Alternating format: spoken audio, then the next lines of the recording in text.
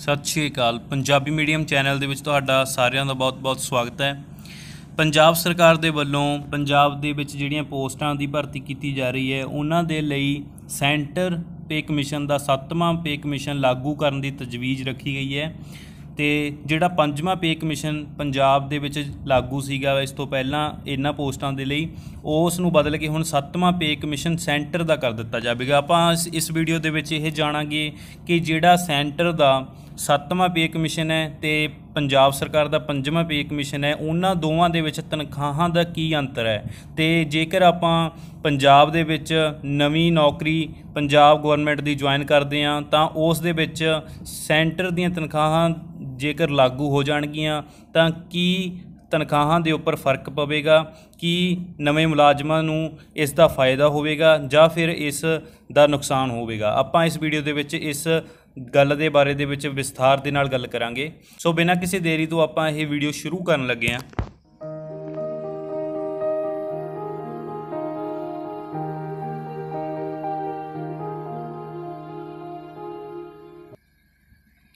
Video ਸ਼ੁਰੂ ਕਰਨ ਤੋਂ ਪਹਿਲਾਂ ਆਪਣਾ ਚੈਨਲ ਜਰੂਰ ਸਬਸਕ੍ਰਾਈਬ ਕਰ ਲੈਣਾ ਤੇ ਜੇਕਰ ਤੁਹਾਨੂੰ ਆਪਣੀਆਂ ਵੀਡੀਓਜ਼ ਵਧੀਆ ਲੱਗਦੀਆਂ ਨੇ ਤਾਂ ਇਹਨਾਂ ਨੂੰ ਵੱਧ ਤੋਂ ਵੱਧ ਲਾਈਕ ਤੇ ਸ਼ੇਅਰ ਜਰੂਰ ਕਰਨਾ। ਸੋ ਹੁਣ ਮੈਂ ਜਿਹੜਾ ਇਹ ਨੋਟੀਫਿਕੇਸ਼ਨ ਕੱਢਿਆ ਹੋਇਆ ਹੈ, ਇਹ ਪੰਜਵੇਂ ਪੇ ਕਮਿਸ਼ਨ ਪੰਜਾਬ ਦਾ ਕੱਢਿਆ ਹੋਇਆ ਹੈ। ਫਿਫਥ ਪੇ ਕਮਿਸ਼ਨ ਦੀ ਜਿਹੜੀ ਰਿਪੋਰਟ 2009 ਦੇ ਵਿੱਚ ਦਿੱਤੀ ਗਈ ਸੀ ਪੰਜਾਬ ਸਰਕਾਰ ਨੂੰ, ਆਪਾਂ ਉਸ ਨੋਟੀਫਿਕੇਸ਼ਨ ਦੇ ਵਿੱਚ ਦੇਖਦੇ ਹਾਂ ਕਿ ਜੇ ਜਿਹੜੀ ਪੇ ਹੈ, ਇਸ ਨੂੰ 32 ਭਾਗਾਂ ਦੇ ਵਿੱਚ ਵੰਡਿਆ ਗਿਆ ਸੀਗਾ। ਜਿਸ ਦੇ ਵਿੱਚ ਹਰ ਇੱਕ ਗਰੁੱਪ ਦੇ ਹਿਸਾਬ ਦੇ ਨਾਲ ਵੱਖੋ ਵੱਖਰੀ ਪੇ ਰੱਖੀ ਗਈ ਸੀ।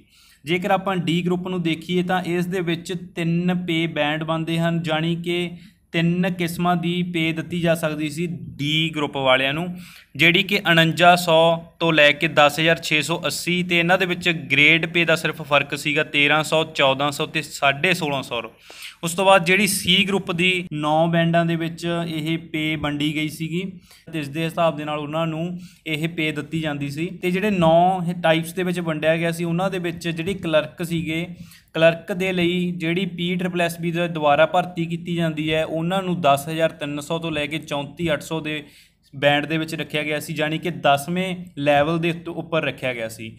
ਤੇ ਇਸ ਤੋਂ ਬਿਨਾ ਜਿਹੜੀ ਪੀਐਸਪੀਐਸਸੀਐਲ ਦੀ ਭਰਤੀ ਹੋਈ ਸੀ ਪੰਜਾਬ ਸਰਕਾਰ ਦੇ ਵੱਲੋਂ, ਉਹਨਾਂ ਨੂੰ 9ਵੇਂ ਤੋਂ ਨੀਚਲੇ ਲੈਵਲ ਦੇ ਉੱਪਰ ਰੱਖਿਆ ਗਿਆ ਸੀ, ਜਾਣੀ ਕਿ ਉਹਨਾਂ ਦੀ ਜਿਹੜਾ ਪੇ ਬੈਂਡ ਸੀਗਾ, ਉਹ 5910 ਤੋਂ ਲੈ ਕੇ 20200 ਤੱਕ ਸੀਗਾ, ਤੇ ਉਹਨਾਂ ਦਾ ਗ੍ਰੇਡ ਪੇ ਵੀ ਘੱਟ ਸੀਗਾ।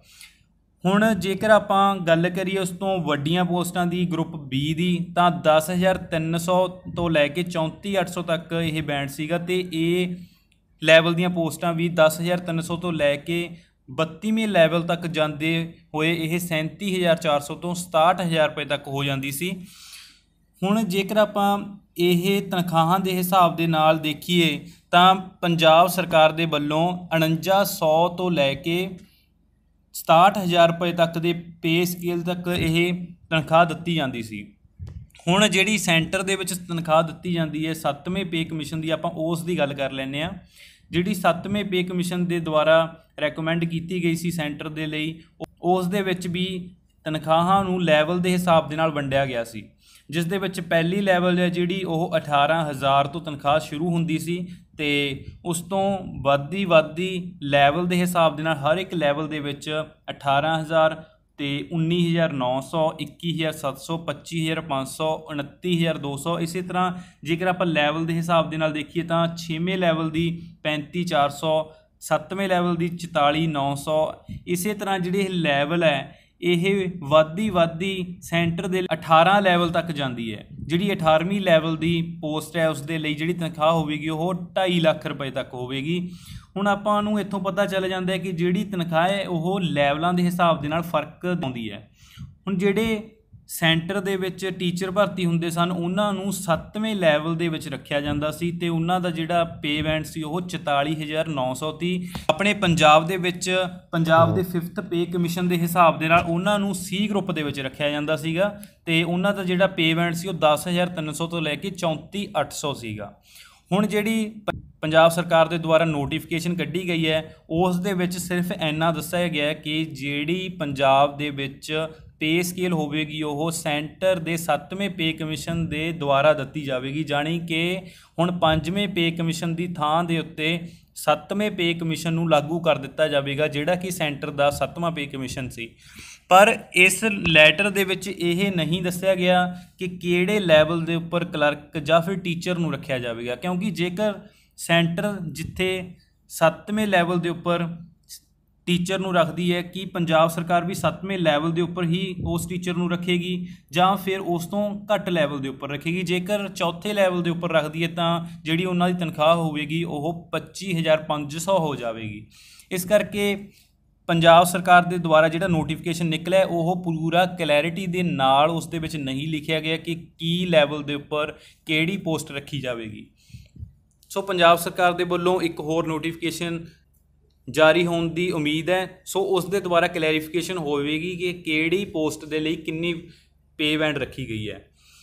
ਜਿਹੜੀ ਇਹ ਮੈਂ ਤੁਹਾਨੂੰ ਪੇ ਬੈਂਡ ਦਿਖਾ ਰਿਹਾ, ਇਸ ਦੇ ਵਿੱਚ ਜਿਹੜੀ 1 ਤੋਂ ਲੈ ਕੇ 40 ਤੱਕ ਜਿਹੜੇ ਲਿਖੀ ਹੋਈ ਹੈ, ਇਹ ਸਾਲਾਂ ਦੇ ਹਿਸਾਬ ਦੇ ਨਾਲ ਇਨਕਰੀਮੈਂਟ ਦੱਸਿਆ ਗਿਆ ਕਿ ਪਹਿਲੇ ਸਾਲ 18000 ਰੁਪਏ ਤੇ ਦੂਸਰੇ ਸਾਲ 18500 ਤੀਸਰੇ ਸਾਲ 19100 ਰੁਪਏ ਤੇ ਇਹ 40 ਸਾਲਾਂ ਤੱਕ ਵਾਧੀ ਵਾਧੀ 56900 ਰੁਪਏ ਹੋ ਜਾਵੇਗੀ। ਇਸੇ ਤਰ੍ਹਾਂ ਇਹ ਸਾਰੇ ਲੈਵਲਾਂ ਦੇ ਲਈ ਵੱਖੋ ਵੱਖਰੇ ਸਾਲਾਂ ਦੇ ਹਿਸਾਬ ਦੇ ਨਾਲ ਇਹ ਪੇਮੈਂਟ ਦੱਸਿਆ ਗਿਆ। ਸੋ ਮੈਨੂੰ ਉਮੀਦ ਆ ਤੁਹਾਨੂੰ ਇਸ ਪੰਜਵੇਂ ਤੇ ਸੱਤਵੇਂ ਪੇ ਕਮਿਸ਼ਨ ਦੇ ਬਾਰੇ ਦੇ ਵਿੱਚ ਪਤਾ ਲੱਗ ਚੁੱਕਿਆ ਹੋਵੇਗਾ ਕਿ ਕੀ ਫ਼ਰਕ ਹੈ ਦੋਵੇਂ ਪੇ ਕਮਿਸ਼ਨਾਂ ਦੇ ਵਿੱਚ। ਪਰ ਪੰਜਾਬ ਸਰਕਾਰ ਦੇ ਵੱਲੋਂ ਹਜੇ ਇਹ ਕਲੈਰਿਟੀ ਨਹੀਂ ਦਿੱਤੀ ਗਈ ਕਿ ਕਿਹੜੇ ਲੈਵਲ ਦੇ ਉੱਪਰ ਟੀਚਰ ਜਾਂ ਫਿਰ ਕਲਰਕ ਜਾਂ ਫਿਰ ਸੀਨੀਅਰ ਅਸਿਸਟੈਂਟ ਇਹਨਾਂ ਨੂੰ ਰੱਖਿਆ ਜਾਵੇਗਾ, ਜਿਸ ਦੇ ਕਰਕੇ ਹਜੇ ਵੀ ਇਹ ਸ਼ਸ਼ੋਪੰਜ ਬਣੀ ਪਈ ਹੈ ਕਿ ਕਿਹੜੀ ਪੇ ਲੈਵਲ ਮਿਲੇਗੀ ਪੰਜਾਬ ਸਰਕਾਰ ਦੇ ਮੁਲਾਜ਼ਮਾਂ ਨੂੰ। ਸੋ ਮੈਨੂੰ ਉਮੀਦ ਆ ਤੁਹਾਨੂੰ ਆਪਣੀ ਵੀਡੀਓ ਪਸੰਦ ਆਈ ਹੋਵੇਗੀ। ਜੇਕਰ ਤੁਹਾਨੂੰ ਆਪਣੀ ਵੀਡੀਓ ਪਸੰਦ ਆਈ ਤਾਂ ਇਸ ਨੂੰ ਵੱਧ ਤੋਂ ਵੱਧ ਲਾਈਕ ਤੇ ਸ਼ੇਅਰ ਜ਼ਰੂਰ ਕਰਨਾ ਤੇ ਆਪਣਾ ਚੈਨਲ ਵੀ ਜ਼ਰੂਰ ਸਬਸਕ੍ਰਾਈਬ ਕਰ ਲੈਣਾ। ਸੋ ਸਤਿ ਸ਼੍ਰੀ ਅਕਾਲ।